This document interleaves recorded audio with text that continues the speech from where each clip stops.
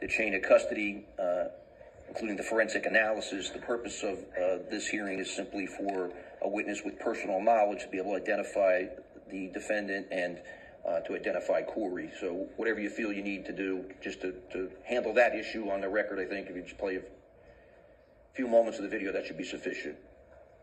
You want us to do that now, Judge? I think so. I think we just, outside the presence of the jury, I think the, the witness needs to identify uh, Sure. the defendant and the child on the video. Okay, Judge, we can uh, publish uh, A, and then we can publish, um, I guess, B, C, and D. B, C, and D, um, she's not actually there in that portions of the video, but if we show a portion of that, I, I believe she would be able to identify the parties.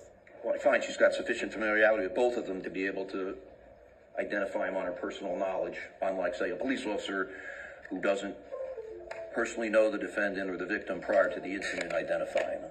Thank you, Judge. Permission to publish uh, video A, please? Please go ahead. Thank you.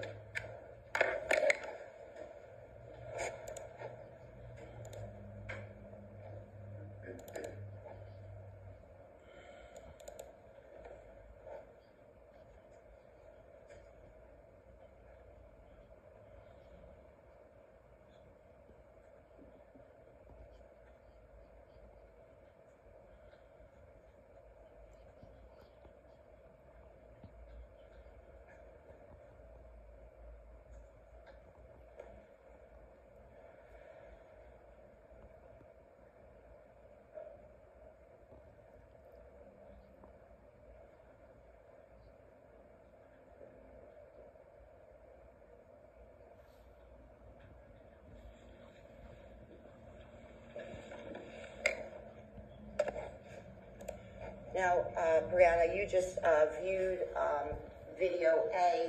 Can you tell the court who is present on that video?